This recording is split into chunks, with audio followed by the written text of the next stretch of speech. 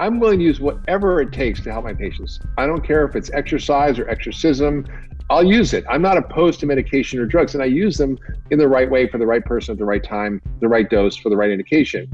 But most of the time, I don't need them because food is way more powerful a drug than most pharmaceuticals. What what inspired enough to write a book? Well, I don't know if you were there. You might have been there. It was at Revitalize uh, about eight or nine years ago, and, yeah, and I was sitting there. on a I was sitting on a panel with uh, two friends. Uh, One was a militant vegan cardiologist, and the other Yep. was a paleo doc, Frank Lipman and Joel Kahn. And they were just fighting like cats and dogs. And I was in the middle, like ping ponging back and forth, and the tension was getting really high. And I'm like, hey, if you're paleo and you're vegan, I must be pegan. And everybody cracked up. I thought, oh, that was a good joke. and then I just kind of thought about it on the way home on the plane, and I was like, wait a minute. They have way more in common with each other than with the traditional American diet. In fact, they're identical except for Yeah. one thing, which is where you get your protein animals or grains and beans. That's it. They both don't want to have dairy. They both encourage whole foods, good fats. They both encourage lots of fruits and vegetables, nuts and They don't even I mean, like industrial animal raising, even like like Right, most right. of that world is about grass fed beef, and it's like, yeah, we agree on almost everything. It's right. And so I was like, wait a minute. And so they started writing down the, the basic commonalities and principles. I've just refined it over the years. And then all of a sudden, you know, the article was picked up in the USA Today and the Daily Telegraph in London. That there were people starting to make pegan bars, pegan shakes, pegan cookbooks. I'm like, what's going on here? I think, wait a minute, I better just sort of step back and sort of create the big tent view of what I really meant by this, which is that, you know, there are so many diet wars and people are so confused about what to eat. It's keto, it's low fat, it's low carb, it's vegan, it's paleo, it's raw food, it's carnivore. I mean, it's like every week there's It's a all new extremist, right? and everybody's kind of uh, fighting with each other, and and we're fighting the wrong person. We should be fighting with the traditional American diet, or we call it the standard American diet or the SAD diet. That's really what's driving the chronic disease epidemic. And then, you know, I began to sort of look at how do we begin to, to sort of be inclusive, to create a framework for really understanding how do we how we actually support a set of principles that can break through the nutritional confusion, that can take down the science to digestible bits, that can include a lot of the things that people are interested in, like discussions around keto and longevity and hormone balancing and detoxification and and regenerative agriculture and how to actually save the planet and save yourself and regenerate your health and the health of the planet. And and talk about, you know, what do we know about meat or what do we know about all these different foods that we're eating? And it's a very it's a very overarching framework that focuses on really two main principles. One is food is medicine. So everything you eat, you need to think of as instructions or code that can upgrade or downgrade your biological software that literally programs your genes, your hormones, your brain chemistry, your immune system, your microbiome with every single bite. And are you putting in good information or bad information? Are you putting in crap code or good code if you're a programmer? Yes. And, and, and so that's really important. And, and I can drill down into understanding what is the quality in each area of our diet in vegetables, fruits, nuts, seeds, beans, grains, whole uh, meat, you know, dairy. What, what are the nuances of what you should be eating in each category if you're going to eat those foods? Like if you're going to eat dairy, well, damn, you shouldn't eat A1 casein. You shouldn't eat industrial cows. You should be eating sheep or goat, or you should be eating A2 casein cows, for example. Yep. And then and then and then I and then the second principle is personalized nutrition or precision nutrition. Because listen, I'm a, I'm a doctor. Uh, I don't just play one on TV. And I play one on the internet. I've Oh, wait, I don't even do that. right. you you kind of you kind of uh, doctor imposter. You're like an AMD, almost a doctor. there and I- go. I'll take that. and and I I I am I've been humbled, uh, and all the dogma has left my thinking because you can identify what your metabolic type is, what your nutritional levels are, whether your food sensitivities, what your microbiome is, and how to optimize your diet for you. Because you can you can believe all the things you want, but ideology should not trump biology. you listen to your biology. Your body is the smartest doctor in the room, Yeah. and I, I think it's a really really important uh, framework. telling yourself over and over that something is going to work when it's clearly not working is one of the biggest risks of any diet. I did it when I was a raw vegan. Like, oh, I must not be raw enough. I'll, I'll, I'll double down when it stopped working because it did work for a while. And then when you do the hardcore keto thing, and it works great for six weeks, and then your sleep goes away and you start losing hair. You're like, it's because I'm not keto enough. I'm going to go down from 15 grams of carbs to 12, and then it's going to work. And yeah. so we have this idea that that you know if something worked a little bit more and more and more is going to be better. And what you're saying there is, you know, maybe it worked for a little while, maybe it never worked. You just thought it was going to work. Um, and so that that's freeing for people to just say, look, it is find what works for you. Yeah, and, and it's important to understand that you know um, eating well eh, for health, for longevity, for disease reversal is, not that hard uh, when you stick to a few simple principles. And that's really why the subtitle of the book is 21 Practical Principles for Reclaiming Your Health in a Nutritionally Confusing World, because we're all so freaking confused. You know, even I get confused from time to time. I'm like, wait a minute, what does the data say? And and it, and it sort of goes into nuances. And I, I, I, I, like some of the things I've learned as I was sort of just researching this book, and I've been doing this for a long time, were really striking to me. And and I, I if I can, maybe can I give a few examples Please. of the ways in which food regulates your biology, but in a granular level, and why? Can I do that? Please, yeah. Okay, so the first thing I want to talk about is um, is the microbiome. Now, this is just a little snippet, and it, and this is you know just the, the, tip of the iceberg in terms of what we know about the microbiome. But turns out that there's a particular bug that should be in your gut that's critical for your health to regulate immune function, to prevent leaky gut, to regulate cancer risk, heart disease, and metabolic health, and protect the lining of the gut from intrusion of bacteria and toxins and basically food particles from getting into your bloodstream through your leaky gut. And this bug is called Akkermansia muciniphila. Muciniphila is called the mucin layer, the mucus layer essentially that covers the lining of the gut. Now, this particular bug you can't take as a probiotic.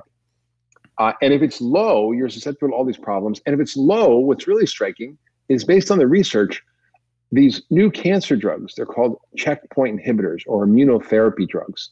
They literally help your immune system fight the cancer. And if you have stage four cancer, you know, you know that's a death sentence for most people.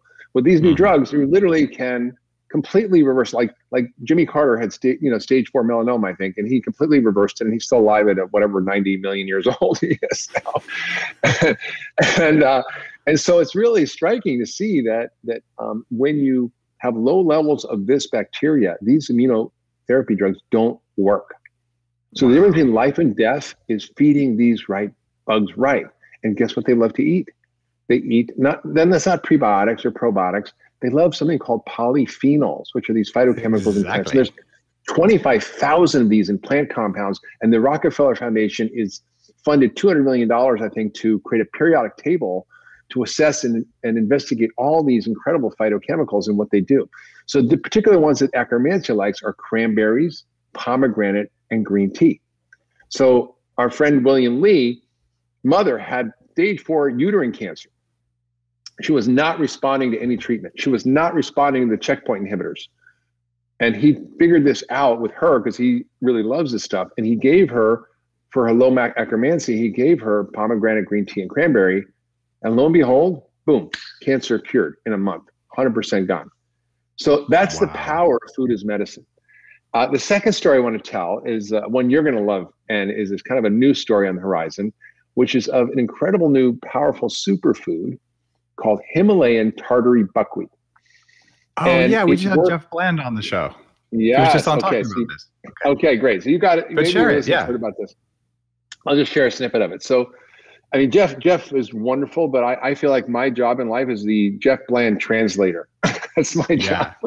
Yeah. and so he he. Um, long story short, the, the the there's a part of your immune system that you write about in your book around aging uh, that gets senescent.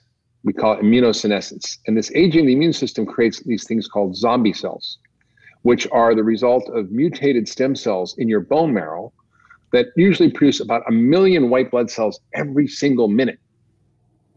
And if these cells are damaged, these white blood cells get in your bloodstream and they become zombie cells and they cause cancer, heart disease, autoimmune disease. They're really bad for you and they accelerate aging or immunosenescence. Well, what's really fascinating is that this Himalayan tartary buckwheat, which is this forgotten plant that was grown in the most rigorous conditions in Tibet and the Himalayas with poor soil and lack of water and high altitude and cold weather. I mean, it's just, I mean, this plant shouldn't grow anywhere, right? But it's, it's as a result of living in such a stressed environment, the plant has created robust defenses to protect itself called phytochemicals. And it has more phytochemicals than almost any other food on the planet. It's like 137 different phytochemicals. Some are found nowhere else. And these, these phytochemicals just happen to be the perfect antidote for the zombie cells. So they, they literally nuke your zombie cells. And so you go from immunosenescence to immunorejuvenation, which now with COVID is ever more important. So this is the power of food as medicine. So one regulates your microbiome, one regulates your immune system, one can regulate your detoxification system, and so on and so forth, your hormones. So the book is really designed to understand how food is medicine and works on these seven key systems in functional medicine that drive all disease, and then how to use food to actually help optimize the function and performance of these systems. And when you do that, disease goes away as a side effect. I never treat disease. I'm a doctor. I was trained to diagnose disease and treat it with medication or surgery or radiation. I almost never use medication now because I'm not against it. I'll use it. I'm agnostic. I don't care if it's exercise or exorcism, I'll use it. But food works so much better most of the time. And and so I feel like the the book is the first attempt to really create a food as medicine framework for people to think about specifically what they're eating. What's new about this too, Mark, is we didn't realize that most drugs, when we take them orally, it's what the gut bacteria do to the drug that turns on the drug. And when you eat a food, it's what does the gut bacteria do to the food. And pomegranate, for example, I did a recent episode about a compound called urolithin A. Where yes, oh yes, I love that stuff. Well, like 60% of people don't have gut bacteria that turn pomegranate stuff into urolithin A. So if you don't have those, you eat a pomegranate, you got a bunch of sugar. But if you have those, and you can turn it into urolithin A, it's useful. Or now we can actually figure out the metabolite and you can take urolithin A directly. So I, I do that now, where uh, yeah. I actually don't have the gut bacteria that can metabolize pomegranate into the magic stuff that makes it do good things for you. Well, that's another interesting example, right? Because it's another system. So we talked about your microbiome, your immune system. Another key system that you talk about a lot is mitochondria. And a lot of your work is around how do you optimize mitochondria by getting rid of light pollution, by different kinds of exercise, by various supplements, because it's the key to healthy aging. Well, it turns out one of the key things that has to occur in the body is mitophagy, which is the cleaning up and getting rid of old mitochondria so you can have renewed vigor and energy and youth. Well, this particular plant compound from pomegranate that is that is converted to urolithin A with the right microbiome actually causes mitophagy. So it literally helps to build muscle and clean up your mitochondria and promote healthy aging simply by eating the right polyphenol with the right microbiome to produce this molecule that then works on your mitochondria. So this this is an example of, of how food is medicine, and the purpose of this pegan diet is to let's let's get rid of all these dogmas and ideologies. Let's look at what does the science say about how do we optimize our health and how do we customize our diet for ourselves uh, and not not have some kind of overarching ideology other than the simple principle that food is medicine and that we should personalize our approach and that we should eat in a way that regenerates our health and regenerates planetary health and improves our our actual social fabric as well. So there's a lot of wonderful ways that we can eat in a new way that does all those things. And there's a whole chapter in there on becoming a regenitarian, which probably people don't know about. But essentially, it's talk it's about that some more. It's so important, Mark. Like I wish I had coined that word. I'm glad you did uh, because it's probably the most important thing that we'll talk about. So, yeah. define what that is. So, the way we actually grow food and the food we eat that's grown and the way it's grown de- degenerates our health, which is why we have six out of 10 Americans with a chronic disease and 88% metabolically unhealthy. And it degenerates ecological systems, environmental health, and accelerates climate change. So we should not be eating in a way that kills us and kills the planet, right? Everybody can yeah. agree theoretically with that idea. I mean, nobody's gonna be, yeah, I want more climate change. I want more ecological collapse. I want more chronic disease. Like nobody's gonna be for that, right? So I'm figuring like, well, like no one's against be- becoming a regenitarian, right? So it's like apple pie and ice cream and motherhood, right? Nobody can be against. I know those guys who, who are into rolling coal might might not be on your diet, Mark. You know, the guys yeah, who like they, modify they, their trucks it, to pollute it, more. but they in principle, they in principle understand that there, yeah. there's a there's a there's a good thing to be had here by by doing good things for for you know humanity and the planet. Um, so yeah, so the the idea is that how do we eat and do it in a way that does that? And what I learned about through my last book, Food Fix, was the power of regenerative agriculture, starting with the seed and the farm and the soil to produce more nutrient dense food that's better for you, that is actually more profitable for the farmers, that conserves water, that eliminates the need for agrochemicals, that uh, helps to mitigate climate change and drought and floods, and makes the farmer 20 times as much money. And at the same time, draws carbon out of the atmosphere, puts it in the soil where it belongs. I mean, one third of all the carbon today in the atmosphere from climate change, one third comes from soil erosion, from the loss of organic matter in the soil as a result yeah. of over tillage and the use of antibiotics on the soil. What I mean by antibiotics, like glyphosate, is a microbiome destroying compound that's used on the soil. It's on 70% of all crops. It's the most abundant agrochemical used around the world. It's like hundreds of millions of pounds of this stuff every year, billions of pounds. I think it's ridiculously amount they, they use. You know, um, you know, Mark, if if if I wasn't already taken, I, I think I, would want to marry you. I know, I know. We have a we have a bromance going on here but like like what you're saying, yeah, it's it's why I live on a small farm. It's why I'm building soil. It's why I eat what I grow. And yes. it makes such a difference. And you can see where the animals poop, the plants are twice as tall. And I put it on my Instagram channel. I'm like, look, do you see this line right here? That's where the fence was. This is where the sheep poop. This is where there is no sheep poop.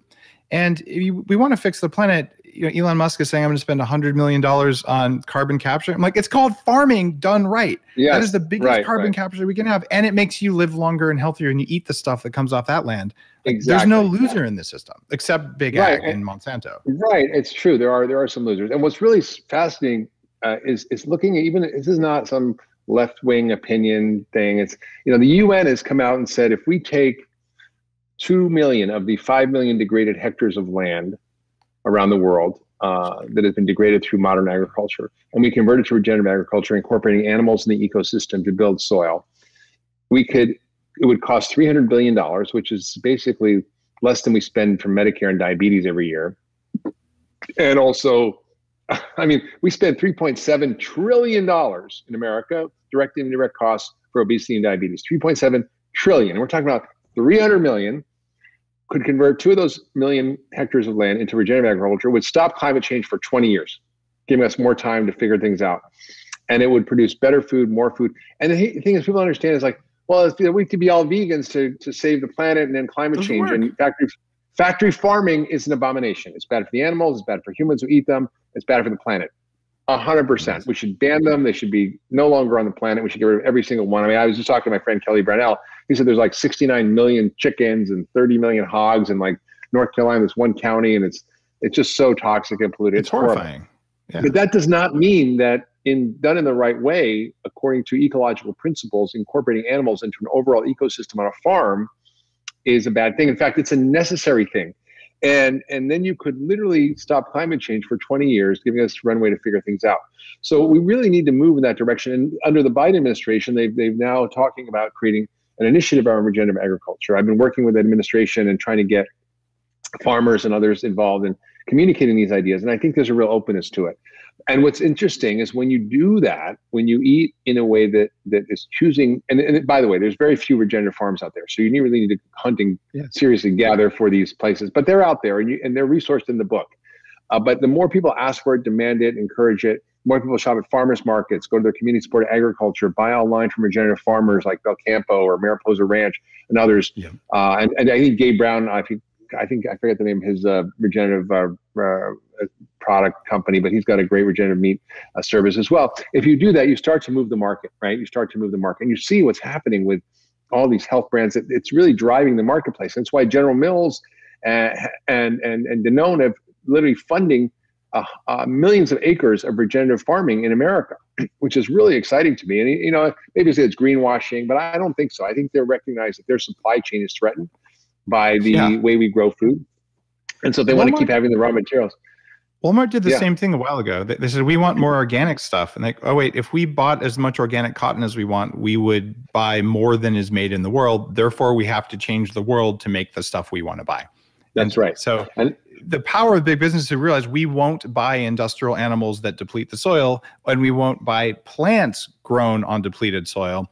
They will have to to stay in business do what's right for the planet and what's right for us, which is make that's food right. that's worth eating. Absolutely. And, and, and Walmart is the biggest organic grocer in America. Yeah. Right? People don't know that. So, so one, it regenerates the the health of the planet and the soil and the animal. It's all good on that one. But what's even more interesting is the is the role of this type of farming in generating much more nutrient dense food for us humans that has these phytochemicals that literally can reverse disease and produce food, real food that's good for us and good for the planet. So this is the win-win-win-win-win across the game. It's good for the farmers who are squeezed between the banks and the agrochemical companies and the crop insurance and the government. It's good for the ecosystems that regenerate and bring back pollinator species. It brings back conserves water resources that are depleted around the world. It builds soil, which we're losing at an incredibly accelerated rate. So it's got a win-win-win, and it generates products and food products that are more nutrient dense and more healthy. So Gabe Brown and his farm, they've been testing their carrots and their vegetables, and they have far more phytochemicals than the yeah. traditional farms. Uh, and what's even more amazing, I literally just got an article in my inbox uh, this this week uh, about how, and I have a chapter in here about is, is meat medicine, basically. and as I know it's a controversial oh, title. That's the title, right? That's going to be a little provocative, I think. and, and what's so fun about it is that I've been learning from guys like Fred Provenza, who's a rangeland scientist who's working with scientists at Duke University, actually analyzing the differences in phytonutrient content. And I said this right, phytonutrient content in meat that's grown, you know, regeneratively. And what that means is that if animals are foraging on wild plants or on lots of different varieties, like 100 different varieties of, of various plants, each of which has its own phytonutrient content and composition, each of which has very unique vitamins or minerals or other compounds. The, the animals seek this out. So the animals are smart. They know how to eat for nourishment. They know how to eat for health. So they're literally eating their medicine and finding it and eating the drugs that they need on the farm so they can stay healthy. And as a consequence, these compounds get incorporated into their meat. And when you eat them, you're getting the same thing. And they, some of these animals have as high phytochemical contents as the plants that they're eating if you were just to eat the plants. It's really different. Um, on my farm, our sheep walk around and we have forest here. They eat whatever they want. So they'll eat a little bit of rosemary. I call it interbasting. But they'll eat a couple bites of, you know, pine, which is anti-parasitic. But they'll go and they'll they'll muzzle it. And if instead you take animals in a compressed air and you pour a bunch of mixed up food into a trough, they don't get to do that. And the difference is that uh, when we put the meat in a local market, someone will come and they'll buy some of it and they'll come in the next day and they'll buy all of it because like that is the best meat I've ever had. I felt so good when I ate it. So I'm actually opening a restaurant in the middle of the pandemic in Victoria, downstairs from my office in a little while, and we're actually going to take the animals that we raise ourselves and use them in the restaurant because you get a food high when you eat an animal yeah. that ate what it was supposed to eat, was treated kindly throughout its entire life. It, it's not even in the same universe as an industrial yes. steak from the store. Totally. But most people and never you know, felt it, the difference. No, and in, in uh, one of the studies I quote in the book is in in, uh, in Australia, they did a study with kangaroo meat, which they have abundance of there, and compared it to feedlot meat. Same, you know, ounce for ounce of protein, profoundly different effects on the body. The feedlot meat causes inflammation. The kangaroo meat reduced inflammation. And so, wait a minute, how is that possible? Why? It's the information in food. It's the instructions that are programming your biology. So quality is really important. And in the book, I go through every bit of food we eat. You know what what protein and and fats and carbohydrates, uh, you know, vegetables, fruit, nuts, seeds, chicken, fish, meat, what you should be eating in each of these categories. Because a feedlot beef is very different than wild elk, right? A wild blueberry is different than a, you know, uh, I don't know, some some horrible like starchy tomato that's grown in a hothouse that has no nutrients in it. It tastes like cardboard, fact, right? You just said blueberries. Even those, if you're not comparing it to some random tomato, if you get the normal industrial blueberries from factory farms that grow blueberries, and there are such things, versus, okay, I live in the Pacific Northwest. I buy a couple hundred pounds of blueberries at the height of the season from a local regenerative grower, and they taste like blueberries. And we freeze them and we hoard them because they're so good. And if you go to the store and buy a little shrunken baggie of whatever, they don't taste like blueberries. They taste like something no. else. And what we have here is it's legal and considered normal to say, well, if it looks like a tomato, it's a tomato. But just because the outer layer looks like a tomato, the inside is completely different based on how it was treated. But we don't have standards or way to tell how would you suggest that listeners know whether they're eating the good stuff versus stuff that looks like the good stuff? Well, you know, there are ways to sort of ensure a little higher quality nutrient density. One is source your food from the right vendors, right? Yes. Farmers markets, community supportive agriculture, online resources for, for example, regenerative food. Like Thrive Market uh, has incredible sources of regenerative meat and sustainably harvested or uh, you know low toxin fish, for example. Uh, so there, there's Vital Choice Seafood that again sources their mm-hmm. their fish from really great Alaskan waters that are small fish, and so there there are ways to get these things. It's a little bit more work and a little bit more detective work. Um, also, eat weird food. and I go to the farmer's market. I'm like, what is that? I never seen that before. I'm gonna eat some of that bitter melon, or what is that fruit? Or and I and I'm sort of always trying to eat weird, strange food because the more wild, the less commercially raised it is, the more weird it is, uh, the better it is for you. And so I, I've got on the uh, behind me a whole like tray of fruit from Hawaii, and I, I stuff there I've never eaten eaten before. I'm like, what is that? oh, when you jackfruit is gross. No matter how much jack- you torture it, it still is not meat when you eat it. The the information signal yeah. from jackfruit will never be meat. yeah, yeah, jackfruit, and there's breadfruit, and there's I don't even know. There's all kinds. Breadfruit's of Breadfruit's awesome, uh, and that stuff feeds your gut. So I think I think we are really um, you know able to sort of be a little more diligent when you go to the grocery store. Buy you know buy stuff that is is sort of um, a little more funky, like you know get get mustard greens, you know get dandelion greens, get things you don't normally would eat. Uh, eat seaweed. These are these are just ways of picking out things when you go to the grocery store that aren't these big commercial products. So there are ways to do it. It's a little trickier, but but you want it. You want color. You want variety. You want organic when possible regenerative, you can get it. There's a new regenerative organic certification that Rodale and Patagonia are putting together. So there's it's coming. It's coming. This is coming. And there are more and more farms that are converting to regenerative agriculture. So uh, it's going to take time, but you, you literally can transform your diet by starting to sort of widen out your palate by exploring different foods. Yeah. I mean, I got these uh, I got these bitter melon greens, which are really wild, and I got the bitter, you know, from from the farmers market. You just don't see that stuff, right?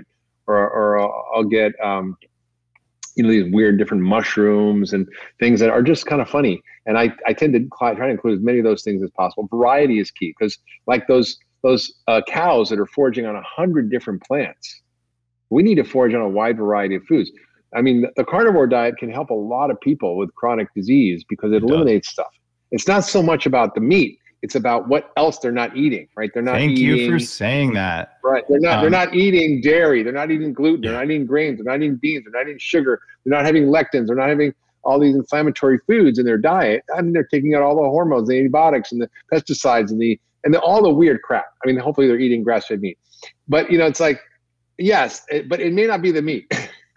and then long term, it's going to be a problem. Long term, it's going to be a problem. What so, I've said the same thing, and and what all foods have in them is they have energy. And in the, traditional american farm you know agricultural lobby industry energy is the only thing that matters. It's calories as if that's somehow the most important thing. But we do have to have some energy from our food. Then it has the good stuff the nutrients the the signaling phytochemicals the polyphenols the vitamins minerals. And then it has stuff that's not good for you in it. And depending on how you prepare the food and how you grow the food and all that it can have more of the bad stuff or less of the bad stuff and yeah, when you go carnivore, you remove all the bad stuff plants are doing to people, whether they're bad plants or good plants, whatever else. But then you eventually find, you know, I tolerate some plants really well, but that plant's not compatible with me. And that's been kind yeah. of the core of what I've been doing on the bulletproof side. It's like, look, find the foods that work for you. It's not the same for everyone. And That's I think in right. the pegan diet, you've become really programmatic about it. But like, it's fine. You might do so well on red bell peppers because they're full of parenthocyanins. Me, they give me rheumatoid arthritis. Like, I am never going to. it doesn't mean they're good or bad. It means they're compatible or not compatible. Yeah. Like, and, I love raw onions and I love yeah. raw garlic. But if I eat it, I feel like crap. I get a brain fog, headache. I don't know what's. Yeah, I don't touch people, stuff. Some people have reactions. Cooked onions and garlic are fine. So, um, and sometimes I'll go on the garlic because I just love raw garlic and I'll put in something, but you know, I have a little bit, it's okay. But I think, I think everybody needs to understand what is their particular biology. And so the ideology and dogma that we have has really kind of usurped common sense and science. And so the take home should be let your biology rule over your ideology. See what works for you. If you if you go vegan and you lose your period and you have no sex drive and your muscle mass goes down and you're tired all the time and you're kind of you know want to stay in all the time and hide that's not good but if you're Rich Roll and you're like running try you know ironman triathlons and you figured out how to do it go for it it might not work for everybody and and it's okay and and people get really angry like ah you have to eat the way i eat And I'm like, I, I would recommend people do eat the way I eat, which is don't eat the stuff that makes you weak and then eat yeah. the stuff that makes you strong and eat enough calories right. at the right time. There, eat the way I eat. That's it. Right. And, and, and within that, within, is yeah, very different. It is. And there's a little bit of homework that has to be done. I, I go yeah. through how do you personalize your diet in the book. But but within that, within that, like there are foundational principles of how do you choose quality and inf- the best information in every bit of food you eat and then how do you personalize it and how do you optimize all your functional systems because you know as a functional medicine doctor i don't treat disease you know the body is structured in a way that has nothing to do with the way medicine is organized right now. Medicine is organized in specialties. You've got your cardiologist gastrologist rheumatologist your neurologist your dermatologist every, like every, you got an ologist for every part of your body. And nobody talks to each other. And and people often have multiple things. They call them comorbidities which means you have multiple diseases which is absolute nonsense because they're all connected. If you have migraines and rheumatoid arthritis and irritable bowel and reflux and you have rashes and you have headaches it's not just a random bunch of bad luck that you got all these things they're connected underneath by common mechanisms of inflammation and, and, and, dysbiosis and other other factors. And so functional medicine is about how do you optimize these systems. So I never treat disease, I optimize these functional systems. And it turns out the biggest influence on these seven dynamic functional systems that are your biological network, your ecosystem, the most important influence on these is food for bad or good, right? Yep. Right. So for example, what percentage is it? 80, 90%? I mean, I think it's probably like, yeah, about upwards of 80%. I mean, if you look at, yeah. uh, you know, there's a class of things that, that are not food related. So I've, I've had those. I'm good with diet, but I've had stuff that's taken me down. Well, if you're living in have. toxic mold and automobile exhaust, it doesn't matter yeah. what you eat. You're probably not going to like it. Yeah. Right? So Dave, you know, you helped me when I almost died a few four years ago from mold toxicity in my yeah. house. And I, you this is after I, you know, been in your movie about mold and after like I knew, and I just collapsed. And, uh, and so you know, I could eat all the great food I want. It wasn't helping. Or, yeah, you know, I, I had mercury poisoning. You know, that's not going to get sorted out by, you know, eating better. I mean, yes, you have to cut out the swordfish and all that and eat vegetables that upregulate your detox. But it's really about, you know, finding those things that are real triggers. But absent that, you know, like Lyme disease, tick infections, mold, mercury, environmental toxins, yeah. all that, yes. Parasites, gut stuff, yes. You have you need a little extra help. But for most of the problem that's facing America today, and by the way, Dave, we are we are in a real pickle. Why is COVID so prevalent in America? It's not just we because we eat a lot of omega six plant based fats and a lot of sugar and a lot of crap. That, uh, yes, that's my exactly. assumption. What, do you agree, or is there something else going on? Yeah. Yes, I, I, agree. I think I think what we, what's happened is people don't understand is that America is one of the unhealthiest nations in the world, and COVID kills you by inflammation, and we are all pre-inflamed. 88% of Americans are metabolically unhealthy. That means they have some form of pre-diabetes, insulin resistance, poor health from their metabolism. When you have that, that's an inflammatory state. That's nine out of 10 Americans. Even people who are just a little overweight, a little bit of belly fat, seem to have higher risk of severe illness and death from COVID. So it's not like you have to be 300 pounds. You could be just a little over, or even not even overweight, but just more belly fat. And I think we're, we're in a situation where we haven't even talked about that in America. We're talking about vaccines and masking and social distancing. And I'm like, wait a minute, there's a lot we can do aside from you know nutraceutical interventions, which like vitamin D and zinc and vitamin C and quercetin and green tea and NAC and a lot of things can really help. But but the food is such a big, big, big, big thing. And I, I think that we just kind of are missing the boat here. And America, if I were president, I would say, I would say, listen, America, get off your crappy diet you're all getting the quarantine 15 or the COVID 19 pounds, like freshman 15. This is not the time to comfort eat, to drink, to not take care of your health because you're just a sitting duck. When COVID lands on a pre inflamed person, it actually causes a super fire called the cytokine storm, which is what kills us. So, are are you saying that that throughout all of human history, diseases take out the weak first?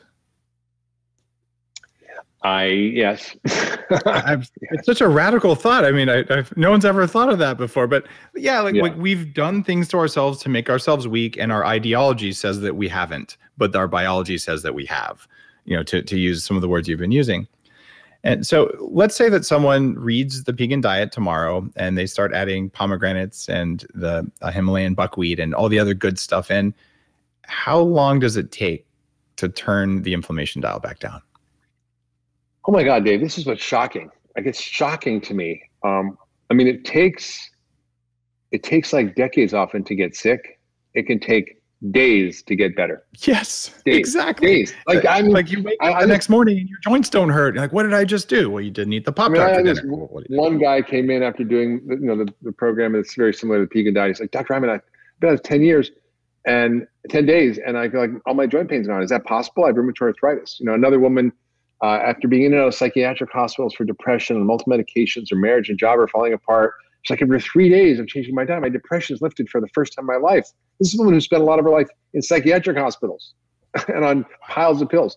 Another one came to one of our shared medical appointments at Cleveland Clinic who had type 2 diabetes, heart failure, and hypertension, and she had multiple stents, and she had this, and she had kidney failure and liver failure. I mean, it was like a mess. She was on her way to a heart transplant and kidney transplant.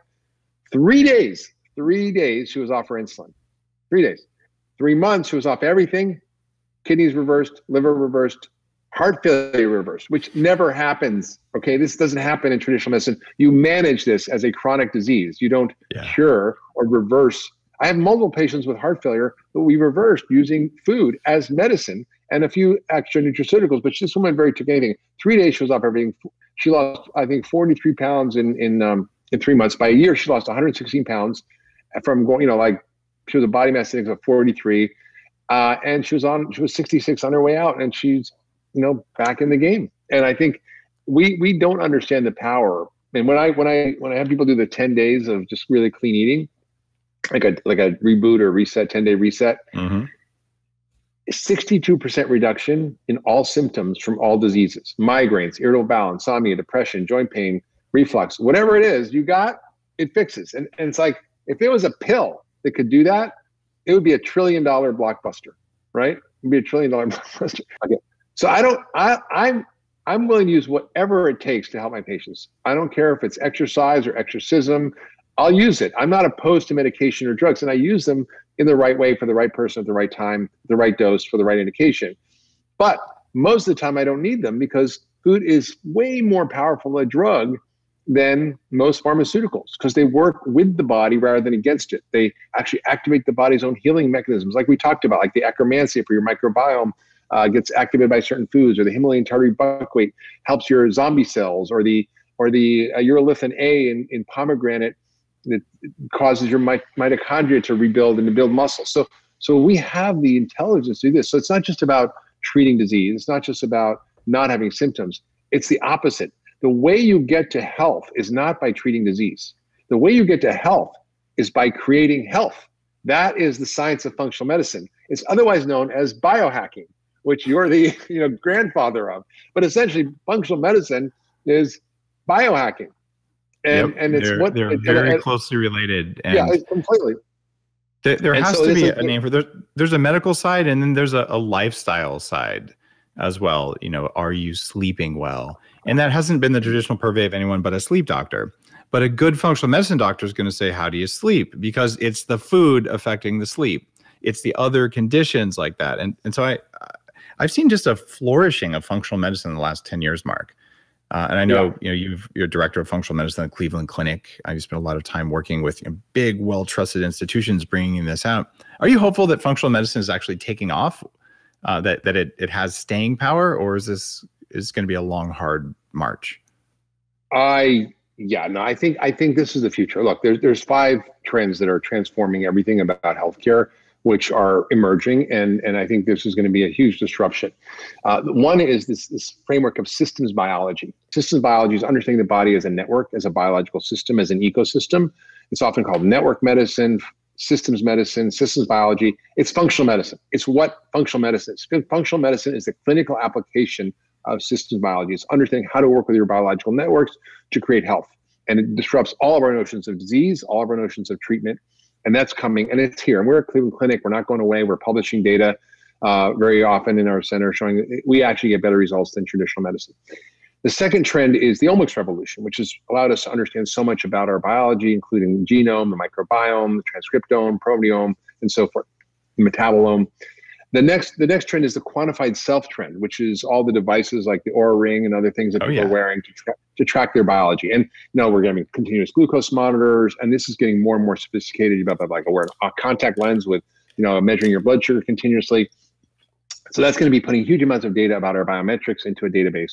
And then the, the two sec, the last two uh, advances that are going to transform it is taking all this information from network biology, from the omics revolution. I mean, you're talking about millions, not if not billions of data points, which any one doctor will never be able to understand or figure out. And I, I've seen more data points and I've seen more information on more patients than anybody I think on the planet because of the nature of my practice. I've literally done ten thousand dollars worth of testing on thousands of thousands of patients over decades and decades. So I, I have this really rare kind of understanding of the network connection between everything. So when you take all that information and you put it up in the big data and, and then you analyze it with artificial intelligence, all of a sudden you're beginning to see patterns that no one else has seen. For example, like this pattern of akkermansia and the microbiome and cancer and polyphenols. So these, these are the kinds of things that are, are the urolithin A. These are all things that are going to be fed into this database. And when that happens, there's no going back. And there will be, you know, doctors will be important, but I mean, they will be, you know, given support through decision making for what they do and how they diagnose by actually getting the help of these powerful trans- transformational um, you know transformational things that that are all coming down the pike. So all the stuff that you're on all the stuff that you're you're sort of on the leading edge of that you're talking about dave all the time this is on the periphery now. It's coming to the center right? I mean listen it took 50 years from the time this guy named semmelweis said hey you know what uh, all these women are dying of childbirth fever. And uh, I noticed that the, the midwives wash their hands between patients and deliveries. The doctors don't. I just sort of mm-hmm. observed this phenomenon. And for some reason, all the midwives' patients are living and all the doctors' patients are dying of childbirth fever.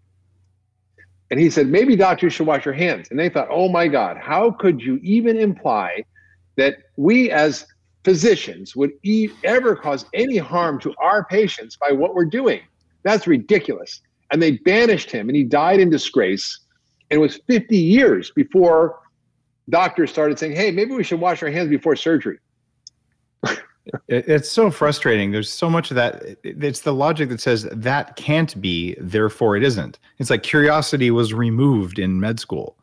And it's that curiosity that has led to every major great breakthrough. Absolutely. Absolutely. And I think we are we are just so we are just so behind in our thinking in medicine. And it's unfortunate because you know, like the paradigm shifts are hard, right? I mean, the earth is not flat. The a lot of people still think it is. uh, which is amazing. sure. uh, you know, evolu- evolution. Uh, you know, uh, this is still controversial, right? I, I, think there was the monkey trial, the Scopes trial back in the twenties, uh, but people are still you know disbelieving the, the, the evolutionary theory of Darwin. Um, the fact that the it looks like Darwin probably was wrong because epigenetics kicked genetics ass. It seems like we change a lot more quickly than Darwin thought yes. we did, but we do change rapidly it, based on our environment. It, yes, but it but it's the same idea that our environment. It is the changes. same idea.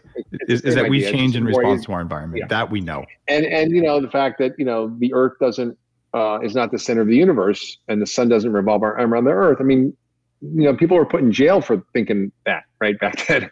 And it just takes so long for these paradigm shifts to happen. And we're in that in medicine today. I, I, I have no doubt we'll get there. I, I do think that that uh, we are we are coming across a, a threshold of a crisis around chronic disease, the agricultural system and the food system that are that are coming to this perfect storm where we can't ignore it anymore. Like, and, and I think my job has been to try to draw those connections, to talk about this publicly, to interact with lawmakers and policymakers, to to just to bring this into academic centers, try to move the needle forward. And I'm just one guy, you know. Yeah, you're passion. one guy who's who's pushing harder than anyone else I know on this and having a bigger impact. And I I'm I'm really well, truly grateful for I, the work I, you're doing on that. For real, that, that's no, a genuine. No, I have no illusions. I have no illusions about my what I'm doing, but uh, you know, I just whatever. It's like. Well, I, I think that it's it's time uh, for a new business model to emerge, and and maybe you and I should talk about this offline. For years, uh, when I retire, I'm going to retire on the golf course, Right. And the golf course you is are. covered in glyphosate and all this other crap.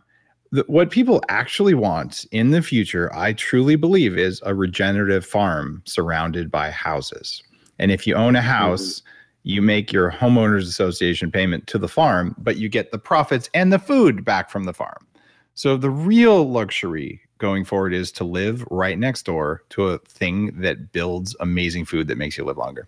And this is what yeah. not just retirement, this is going to be the most sought after place to live that there can be. So there will be many yeah. of these around the world coming up and those will be the places where the people who the longest and are the healthiest live. It's going to happen. I agree.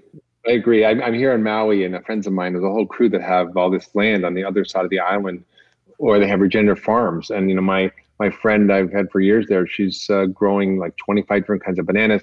We, we, we walk around her property. It's like, you're eating this, you're eating that. They're like these Suriname cherries and all these varieties of different plants that I've never eaten before, and all these different greens and all these different fruits and all these different, it's just like the most wild scene of, of abundance and deliciousness. And they, you know, eat 80% of the food from their land. Uh, and I've just never eaten anything like it when I'm there and you know it's not for everybody. I mean they're living off the grid. Uh, they get their own water. They have their own solar. Uh, it's a lot of hard work. But uh, it's just so beautiful to see uh, such abundance and regeneration. And i think you know in america we, we've sort of you know it's like we have food scarcity food is i mean listen 40 40 plus million americans are food insecure including one in four kids. And you know we we mm-hmm. are we're the richest nation in the world and yet we can't even feed our and we have so much food. It's not like a lack of food. We throw 40% of our food away. We grow more food than we need for 10 billion people on the planet. But somehow, you know, we, we don't have equity and access. And we have, you know, food swamps and food deserts. Imagine, you know, like if we started to to do what we did in World War II, where the government said, hey, everybody, like y'all got to pitch in and have your victory gardens. And 40% of food in World War II was produced by the average person in victory gardens in their backyard uh, and it was an incredible thing to see. And then, of course, in the 50s, that all ended, and there was there was a deliberate effort to usurp the home farm and garden model and home cooking. And it was it was a deliberate attempt by the food industry. Uh, there was a woman named Betty who was a home ec teacher, and she was part of the incredible uh, movement to uh, of extension workers to go around to all the new families and teach them how to grow gardens, how to cook food, how to take care of their families. And it was part of the, it was a government program. And, and the, this one was named Betty and the food industry invented Betty Crocker yep. as a way, a way of, of, of usurping that and creating convenience as a value in food, right? You deserve a break today, right? Convenience is king. And so they started inserting in, in the, if you look at the Betty Crocker recipe book, my mother had one, and we had this all the time. You know, put one can of Campbell's cream of mushroom soup in your casserole. Oh, yeah. Sprinkle one, you know, package of Ritz crackers on the top of your broccoli, cheese, Velveeta cheese, whatever. And and so that's really what happened. And I think we we really have this tremendous um, you know, ignorance of how we got to where we are, where we then had the TV dinners and the astronaut food, and it just accelerated. And now, you know, we've we've uh, you know usurped the American home, and and and people don't know how to cook. They don't know how to choose real food. And the ki- the kitchens have been hijacked by the food industry and the and the idea of home gardens just not even a thing. I mean, my mother, when I was a grown up in Toronto, she because she lived in Europe for 11 years after the war, and you know, in Europe, she missed the whole the whole fast food and the convenience and industrial food revolution in America. And so she was buying from all the cheesemaker and the butcher and the, the farmer and the fruit guy and the this guy and the dairy guy, all like they do in Europe, and they're all artisanal and local. And so she got home and she had a garden. We live in suburban Toronto, and we we would go in the backyard. We had fruit trees. We had pear and apple and plum trees, and and then we had gardens with zucchini and tomatoes and basil. So I just go out there and eat from the garden. And this was in a suburban backyard in Toronto. So we had a little it's homestead doable. there. Totally. There's also for, for people listening, if you want to start a business uh, that's that's useful, there's a lot of people who don't have knowledge or time on how to have a garden that makes food in their backyard.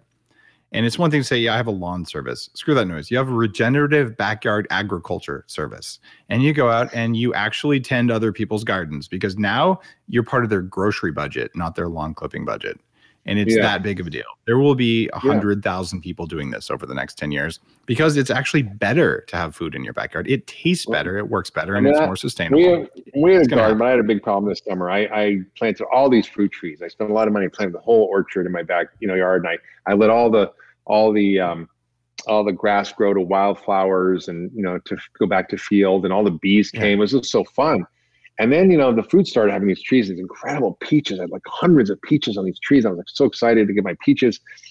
And this freaking bear came oh. and ate all the freaking peaches. And he would sit at the bottom of the thing in the middle of the day, coming out, sit there like a king, and just eat all the peaches. There were like hundreds of peach peach pits everywhere. And finally, he was like took the whole tree down. So now I'm like so uh, depressing. It it's one of those things where, we're learning how to do it at scale is hard. You know, we've spent the last seven years building our farm to the point we can feed our community.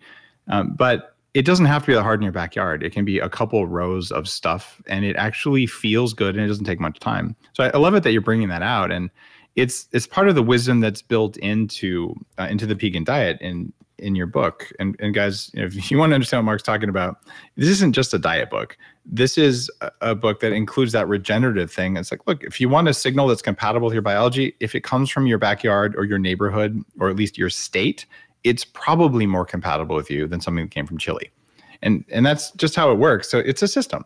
And I, I found that there was wisdom in here, Mark. I mean, all, all your books have new stuff. I don't know how you keep the pace up with your 13 New York Times bestsellers and counting, uh, but all of the books have new stuff in them. So the, the amount of curiosity and innovation there is, is quite impressive.